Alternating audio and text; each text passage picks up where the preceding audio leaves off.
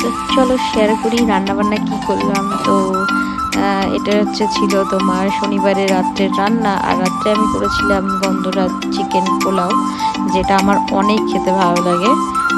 তো এইখানেই দেখো আমার পোলাওটা রেডি তো আমি আর একটু লেবু দিয়ে আর একটু কী করব বলো তো, কিছুক্ষণের জন্য দম দিয়ে দেবো, তাহলে পুরো গন্ধরাজ লেবুর ফ্লেভারটা না খুব সুন্দর বাড়বে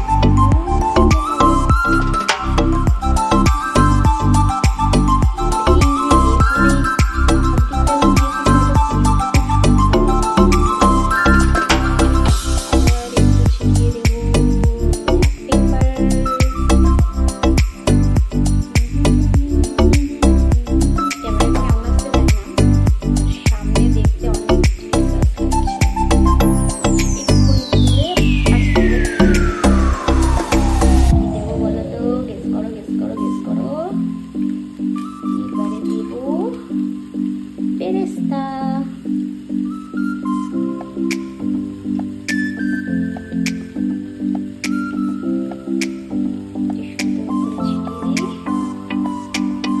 তো আমি দেখো সব কিছু দিয়ে সুন্দর করে সাজিয়ে গুছিয়ে নিলাম।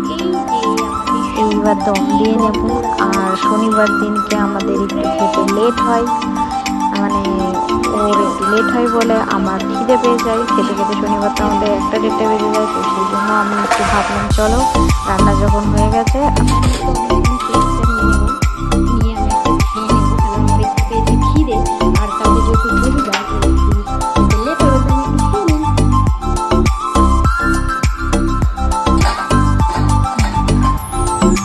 এটা কি করছি বলো তো? স্মেলটা নিচ্ছি, কি সুন্দর স্মেল সত্যি কথা বলতে নিজে রান্না বলে বলছি না, সেদিনকে গন্ধরা চিকেন পোলাওটা খুব ভালো হয়েছিল ও বলছিল। আর এটা আমি সবে মানে নামিয়ে মানে গ্যাসটা বন্ধ করে এটা আমি নিচ্ছিলাম। পরে তোমরা জানো, পোলাও একটু রেখে দিলে ঝরঝরে হয়ে যায়। তো খুবই সুন্দর হয়েছিল, পুরো পারফেক্ট হয়েছিল।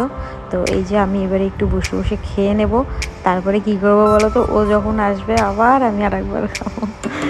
তো আমার খিদে পেয়ে গেছে, কি করা যায়? বসে আছিস কেন? শরীরটা ভালো লাগছে আর সাথে দেখে নিচ্ছি কার্টুন তুই একটু আগে চা করে মা বাবাকে দিয়ে দে। তোকেও তো জিজ্ঞেস করলাম চা খাবি কিনা? হ্যাঁ দিদি ভাই আমার তখন চা খেতে ইচ্ছে করছিল না যে। আচ্ছা ঠিক আছে এখন করে আনছি। শীতেই তোর অবস্থা কাহিল। শহরের মেয়ে তো গ্রামে তো ঠান্ডা বেশি লাগবেই। কি করে বুঝলে দিদি ভাই তুমি? তখন না আমার লেপের নিচ থেকে বেরোতেই ইচ্ছা চলে এসছি তুমি বাড়ি আমি তোর সাথে খেলা শুরু। তো চলো সানডের লাঞ্চটা দেখিয়ে দিই। এখানে ছিল ভাত এখানে ছিল চিংড়ি মাছের মাথা দিয়ে পটল দিয়ে দিদি পাঠিয়েছিল আর আমি করেছিলাম ইঁচড় খাসির চর্বি দিয়ে। আর এখানে ছিল গোয়ালন্দ স্টিমার চিকেন যেটা দিদি পাঠিয়েছিল। আর করেছিলাম আমি ডাল। তো রবিবারে দুপুরটা বেশ এই দিয়েই বেশ জমিয়ে চলে গেল। কেটে গেল খাওয়া। আর রাত্রেবেলা আমি এখানে করেছিলাম মাটন যেটা কিমা না, ও কিমা পাইনি তো আমি বাড়িতেই মাটনগুলো ছোটো ছোটো পিস করে নিয়েছিলাম। আর এই যে, আর সাথে আমি করেছিলাম রুটি। রুটিটা তোমাদের দেখানো হয়নি, কারণ ফোনের চার্জ ছিল না, তো আজ এইটুকুই, টাটা!